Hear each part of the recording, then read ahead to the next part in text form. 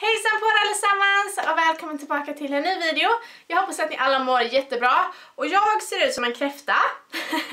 jag satt ute i solen för ett tag sedan och jag har suttit där i några timmar. Och jäklar vad det brände på alltså. Det är helt sjukt. Ni ser typ min bränna här. Jag vet inte om ni ser jättemycket. Men jag är fruktansvärt röd. Ja, så att jag fick en rejäl bränna kan man säga. Jag hoppas att det här lugnar sig sen så att jag blir brun istället för röd. För det är inte så jättesnyggt att gå runt och se ut som man är en kräfta.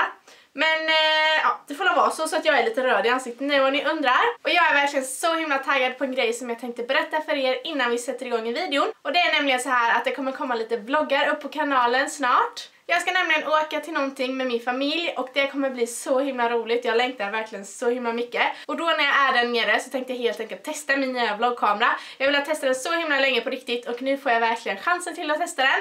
Så jag hoppas att ni är lika taggade som jag på att det snart ska bli lite vloggar. Men i alla fall, i dagens video så tänkte jag filma mina solglasögon. Jag har några stycken som jag tänkte hade varit roligt att filma lite så här. Det blir som en typ solglasögon lookbook, alltså att det bara är solglasögon. Så då tänkte jag helt enkelt filma det, lite så här olika effekter och så vidare.